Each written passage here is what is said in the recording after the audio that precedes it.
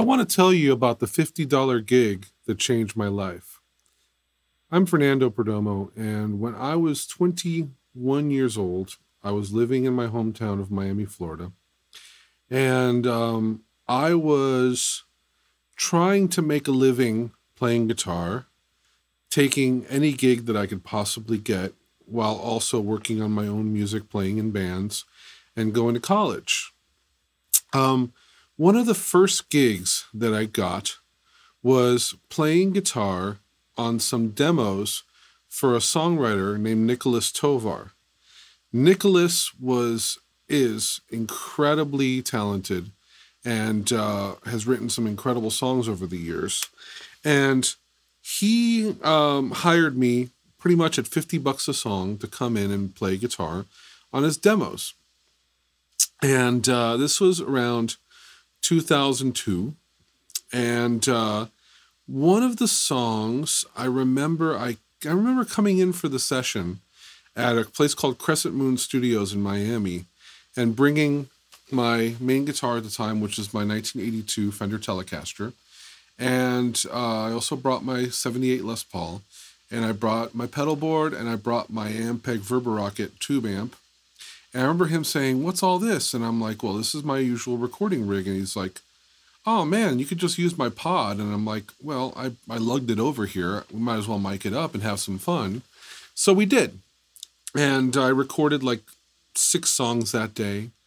And uh, it was really fun coming up with parts for these songs and really kind of making them, they're pretty much making them my own.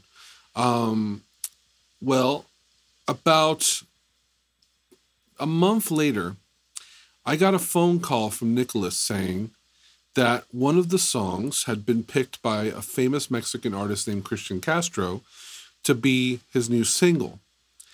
The better news was he loved my guitar playing so much that he pulled my guitars off the demo and put it on the master. This is the lesson I want to teach today. Bring your A game, whether you're playing a cheap session, expensive session, playing at a coffee house or playing at a stadium. You never know what's going to come from it, and you never know who's going to be there and who's going to be listening. Um, this little guitar part that I laid down on this song ended up on the track.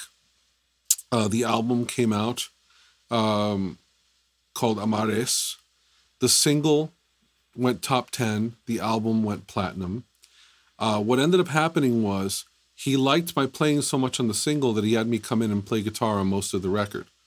The album was produced by Emilio Estefan, came out uh, in 2000, early 2003, and it went platinum. And then I ended up touring the world with Christian.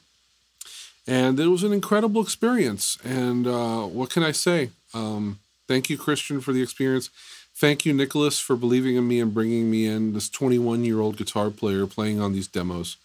And um, it started off my career. And uh, now I'm about to turn 40, and I've been doing this for about 20 years. And uh, I this is what I see myself doing for the rest of my life. So, to all the young guitar players, all the struggling guitar players, to all the people that are just making ends meet, you never know what your next break is going to be.